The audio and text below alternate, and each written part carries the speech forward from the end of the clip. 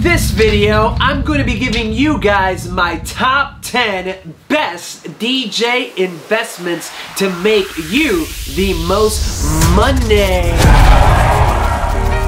What's up, bros? What's happening? What's going on? So, if you're like most DJs, you probably got into DJing for the music. But if you're a real DJ like myself, you know that DJing is actually all about the women, drugs, and best of all, the money!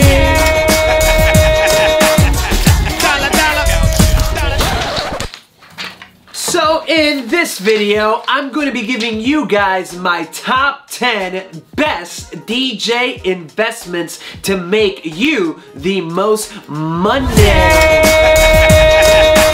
Now before we get started with this video, it's only fitting that we thank the sponsor of this video, Robinhood. Start investing in your future today by investing in crypto and stocks using Robinhood. Use the link in my description and get a free stock worth up to $500. I've been personally investing a ton and my investments are going to the moon. Woo! All right, but in all seriousness, today we are talking about investing in DJ gear. I'm gonna be sharing with you guys my top 10 best DJ investments. So without further ado, let's get started. Coming in at number 10, we have my DJ Facade. It is a super inexpensive way to take your DJ setup from a 5 to a 10. It's an easy way to keep everything nice, tidy, and clean. In any business, the way you present yourself plays a big role on how people perceive you. And if you have a super sloppy, you know, all around shitty setup, chances are people aren't gonna wanna book you. Even if you're just starting out an easy, inexpensive way to tidy up your system and make it look like it's worth a lot more than what it actually is, is by simply investing in a $100 facade. Now there's many different types of DJ facades that you can get. You can get some as cheap as 100 to 150 bucks, or you can get the one that I personally have that costs 250 bucks. I use the American DJ Event facade. However, I do use two because I like having a nice beefy facade with five panels. Now you can get a higher end facade like a plexiglass one that's gonna cost you around 500 to a thousand bucks. However, I found these to be, you know, believe it or not, more fragile than the scrim versions that I personally use. And I've done well over 500 gigs with my current facade and that thing is still kicking, works as good as new.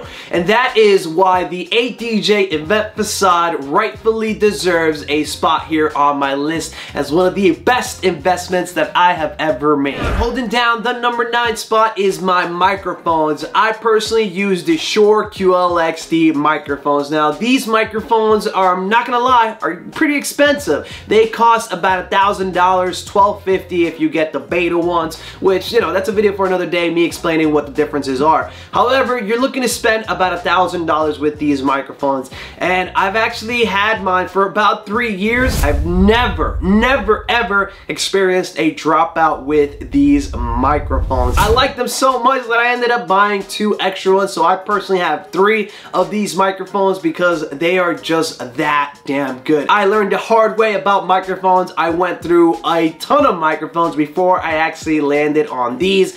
And all those microphones just proved to be straight up junk. Get yourself a decent set of microphones. Even if it's just one, get yourself the QLXD or you ULXD if you have the money to spend. That one's a little bit more expensive. We're talking about like $500 more, but it'll be well worth the money. You'll thank me later. At number eight, I have one of the most expensive things on this list, and that is Uplights. Uplights is one of the best investments you can make in your DJ business. Uplights are incredible. Sadly, more and more venues have been installing them and honestly, they have not come down in price. They're still very pricey. At the bare minimum, you could probably get away with 12 uplights. And that's still gonna be a hefty investment because on the cheaper end you could probably get some uplights for about 150 bucks. But you do gotta be careful. Remember you get what you pay for. I found that even the Chinese ones the decent ones they're still around 200 bucks. So you do the math 12 times 200 each starts to add up Mines are personally $300 and I owned 24 of them. So it's a lot. I spent $7,000 on my uplights. So they can get really, really expensive. However, if you have photos and videos to show your clients, uplighting can become such an easy sale. Now, you may be wondering, hey Barr, how much do I charge for uplights? Honestly speaking, when I got my first set of 12, they weren't even the same ones. Some of them were like the ones that you plug into the wall and only six of them were actually battery powered. I was charging 350 bucks for 12. When I got 18, I jacked that rate up to 500 and now I have 24 and I asked for 650 for 24 uplights. You can do it other ways. I know a lot of guys charge per fixtures. I know a lot of guys, you know, charge well over that. So I cannot recommend enough you getting yourself a set of uplights. At the number seven spot is one of the newest additions to my rig and that is my sparkler units. Over the past couple of years, these units have dramatically come down in price and now they're a lot more affordable. Just about four or five years ago, if you wanted to get sparkler units, it was gonna cost you around ten to $15,000. That's a lot of money and this is the reason why a lot of guys didn't quite jump into it. However, then came along China and of course now every DJ and their mom has sparklers and the price has come down significantly. When I bought mine they were $4,000 so about $1,000 each unit but because so many more companies are making these it's just driving the price down and down. Now a set of these Chauvet units that I personally have are now about 3,500 bucks which is honestly a great deal because you can sell these for quite a bit of money. I have been personally making a killing with my sparkler units because not only can I use them for my personal events, but I've also done plenty of outside rentals with these units where I give them to other DJs or I'll go set them up at a wedding that I'm not even a part of and it's just been a great return on investment. Now, remember when I said four or five years ago these things were really expensive? Guys were getting like 1500 bucks for two units and I'm sorry to report that those days are long gone. The market is just not there anymore. Now these are a lot more accessible couples have options. Before there might have been one or two guys that might have had these. However, now a ton of DJs have them. In some markets you can easily still get a thousand to two thousand dollars for these sparkler units.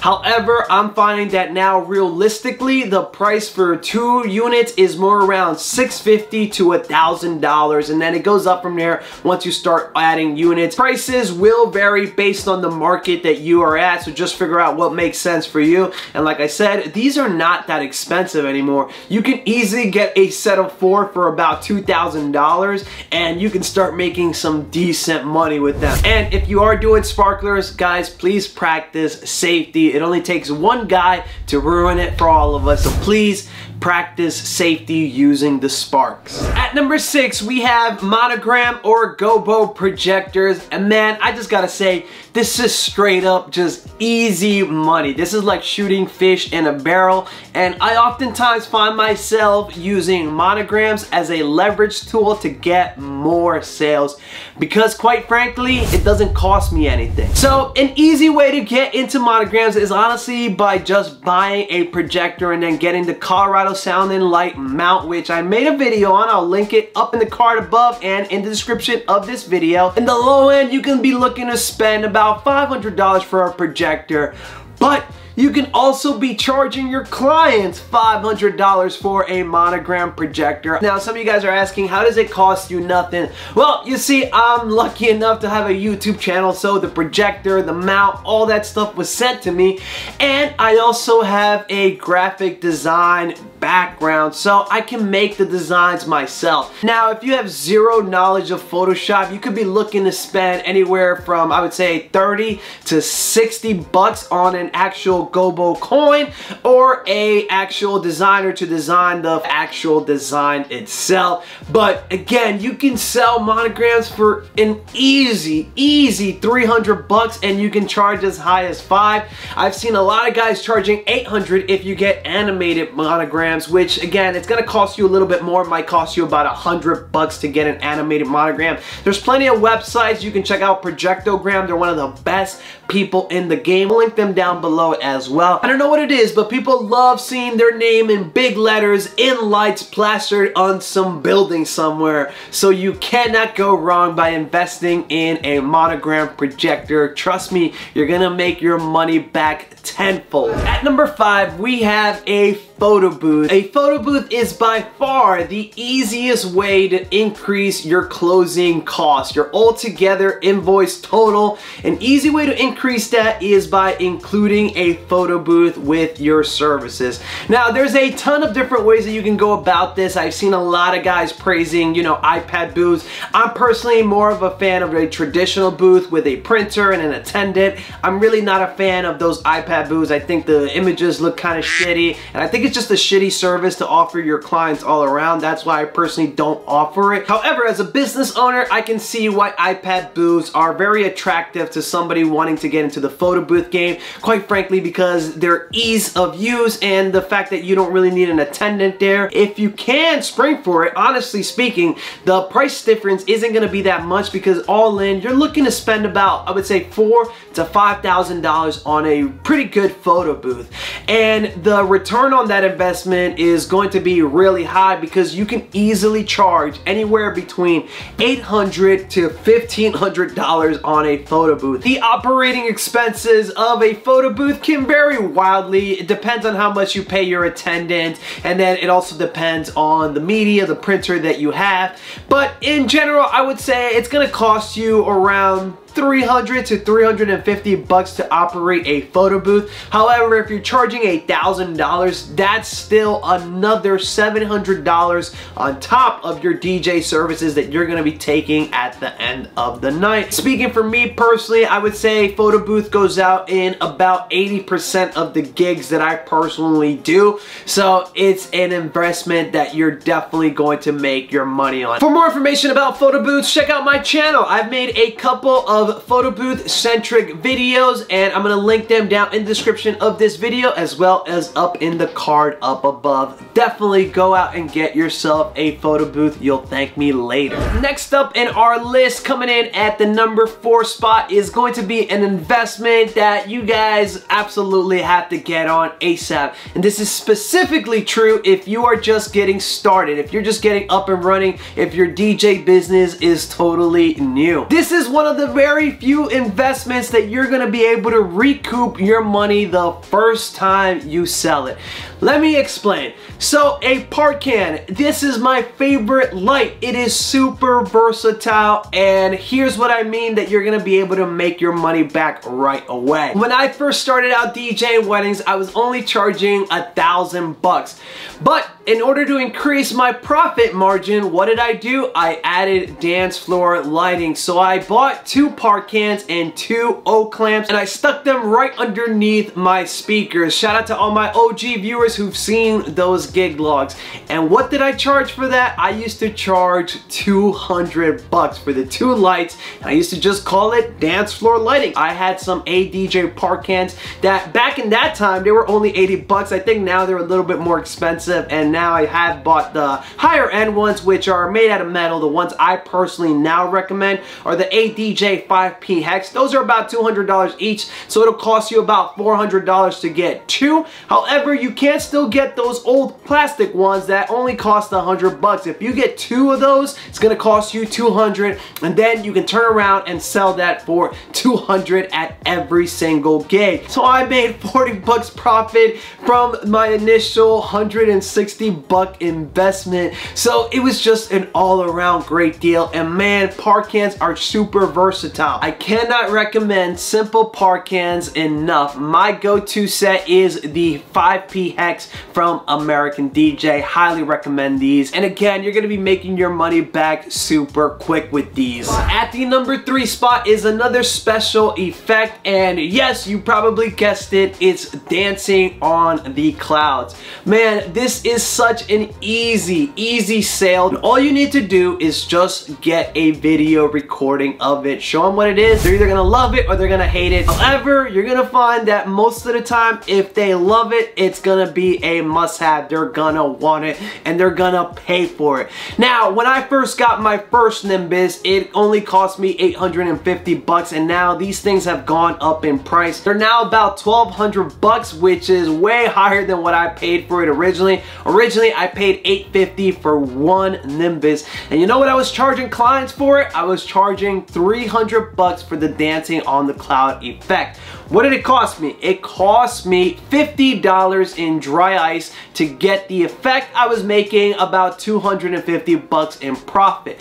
But then what did I do? I noticed that the effect wasn't full enough. I noticed that there were still some patches on the dance floor and I hated it. I want to give my clients the absolute best service possible. So I added a second Nimbus and I started charging clients 400 bucks. So I've been charging 400 bucks ever since I added my second Nimbus However, the prices of the Nimbus have gone up and the prices of dry ice has gone up. So for the 2022 season, I am bumping up the rate of a Nimbus from 400 to 500 bucks. And I'm sure you can charge the same because this is such a visual effect. If you have the videos, if you have the photos to show clients, it is going to be an easy sell. So I highly recommend that you look into investing in a Nimbus. All right, down to the final two and holding down that coveted number two spot is going to be my movers. I personally use the ADJ Focus Spot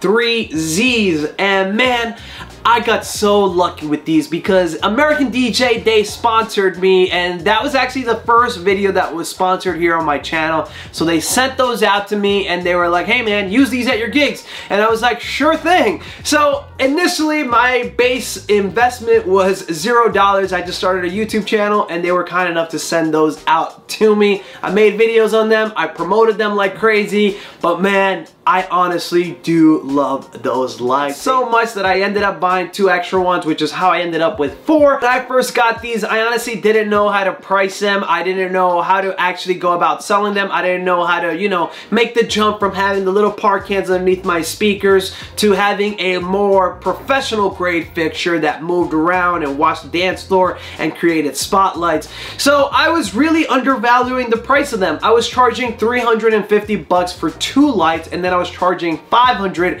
for four. Two years ago, I raised the price to 500 and 850 respectively for two and four. And I'm due for another upgrade this year. I'm thinking about going to 650 and 8,000 bucks for two and four respectively. But I haven't made the jump yes yet. I just think it's gonna be a steep ass. These lights go out to, I would say about 85% of the gigs that I do. It's either these or up lights. And man, they have just been an absolute great return on investment. And during the sales process, if you can convey that they create spotlights, that you can highlight the cake, that you can highlight their first dance, things like that, they are gonna absolutely love you. So, you know, if you can, go out and learn some DMX. I've also made a ton of videos here on my channel about how to DMX your lights properly. All right, we are down to the final one, but before we get into that final one, I do wanna give an honorable mention to my workhorses. I wanted to include them, but I felt like that would be ripping you guys off because, you know, it's things that go out to every single event. So I gotta give a huge shout out to my Ram ProMaster, one of the best investments I've ever made, best 20,000 that I have ever spent. In addition, I gotta send a huge shout out to my DDJ 1000 SRT. In just a year, my DDJ 1000 has more than 100 gigs under its belt. And lastly, my workhorses, my babies, my SRX speakers, both my sub and my tops. These things are absolute beasts. Just like my facade, these things go out to every single event. So they have well over 500 events under their belt and they are still kicking. The JBL SRX speakers are by far one of my best investments that I've ever made. And we finally made it down to number one. And yes, it's going to be a little bit controversial, but I don't care. I'm going to do it because I think this is by far the best investment you can make as a DJ. It's controversial, but I don't care. I'm gonna do it. So holding down that coveted number one spot, drum roll please, is going to be a camera. I know some of you guys are saying this isn't a photography channel. What do you mean a camera? Hear me out. The reason I've been as successful as I have been in this mobile DJ world is honestly not because my sales ability. It's honestly not because I'm the world's greatest DJ. It's because of these things, these cameras. There was a common trend among each and every single one of the products that we discussed here today, and that was being able to show your clients. And how do you do that? You do that by filming, taking photos, and taking videos of everything that you do. Don't sell the steak, sell the sizzle. And how do you do that? You do it with cameras. I can't tell you how many times I find myself in a situation where people direct messaging me saying, hey, can you give me some work? Hey, I'm a DJ too. Hey, I can do what you do. And then I ask them one simple question. Do you have a video? And the answer is always no. Right now, I'm asking you guys to be honest. If I were to ask you, show me a video of you DJing or show me a video of you doing grand introductions at a wedding, how many of you guys would actually be able to do that? And I started this YouTube channel and I started charging a $1,000. Fast forward five years later, I'm now making at some events well over $5,000, which is ridiculous. And honestly speaking, it's not because, again, again, I'm the world's greatest DJ, it's because I started filming myself and showing people what I do at weddings, what I do at my events. So these guys are so powerful. You can have all the equipment in the world, but if you can't sell it, you're not gonna make any money off of it. And this whole video, the point of it was for you to be able to make money. Investing in a camera is one of the best things you could do for your DJ career. I started out with this little guy right here and I would say still 90% of my videos here on my channel, except for the last year or so, were all shot on this little guy right here. These cameras are about six to 800 bucks. They have multiple versions of them. This is the Canon G7X Mark II. This is my favorite one. They do have a Mark III, but the focusing is uh, not the best. I always complain about it here on my YouTube channels if you guys hear me say, the focus sucks. Now last year I wanted to up the video quality on my videos so I switched to these bad boys. I now have two of these guys, the one I'm filming on right now. And what I do is I just set it up at each and every single one of my gigs and I do what I do and I record it. I later get home, chop it up and post it to my Instagram, post it to my YouTube channel and it just does the work. People find me because of these little stupid videos that I make here on the internet. Trust me when I say this, the best investment I ever made as a DJ was this little guy right here. Bros, thank you so much for watching this video. I do hope you guys enjoyed it. I did my best to provide as much detail and provide pricing. If you enjoyed it and found this video helpful, please smash that like button. Subscribe if you're new around here and don't forget to turn on that bell so that you can be notified next time we do another DJ investment video. Thank you bros so much for being awesome and I'll catch you in my next one. Peace. Bye.